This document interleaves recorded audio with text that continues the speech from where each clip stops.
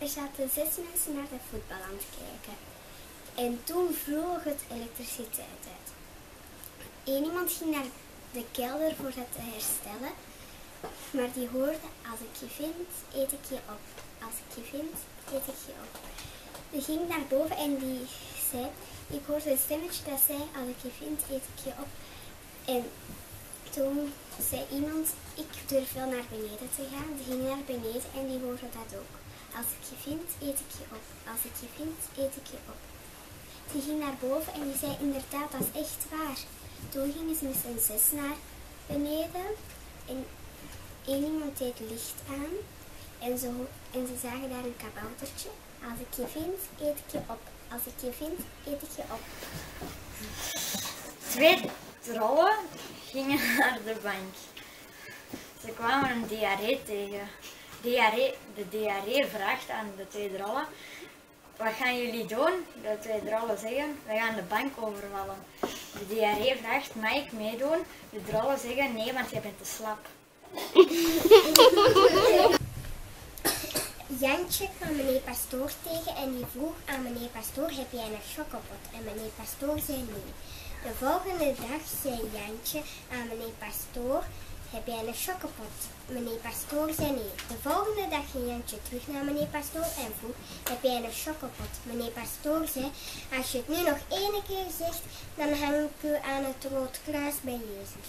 De volgende dag ging Jantje terug naar meneer Pastoor en vroeg, heb jij een chocopot? Toen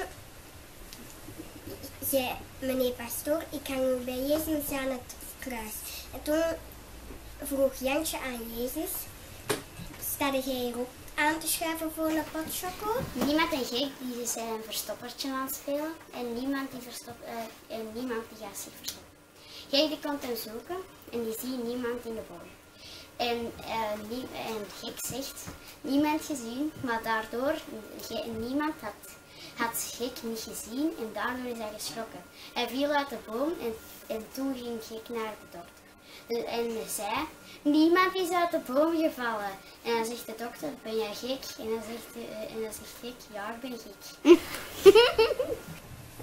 In de woestijn zegt de ene zandkorrel tegen de andere, ik denk dat we gevolgd worden. slak en een schildpad die botsten tegen elkaar in het bos. En de slak kwam in het ziekenhuis terug bij. En de, ver, de verpleegster vroeg aan de slak, wat is er precies gebeurd? En de slak antwoordt, dat weet ik niet, want die ging allemaal te snel. Dus een papegaai en een giraf zaten in een vliegtuig. De papegaai zegt in mijn onderbroek, in mijn onderbroek. De giraf zegt stop daarmee. Tien minuten later deed, eh, de papegaai dan nog eens in mijn onderbroek, in mijn onderbroek. De giraf zegt stop daarmee of anders gooi ik je uit het vliegtuig. De derde keer deed de papegaai dan nog eens in mijn onderbroek, in mijn onderbroek. De giraf gooide de papegaai uit het vliegtuig. De papegaai landt voor de kerk.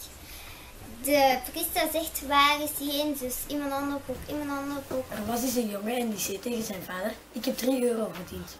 De vader zei, hoe deed je dat? De jongen zei, ik heb een auto gekust van de meneer en toen kreeg ik 1 euro. Toen hij de auto zag, gaf hij me 2 euro, zodat ik ermee zou stoppen. Zeg altijd, rekenmachines zijn onze beste vrienden. Je kunt altijd op ze rekenen.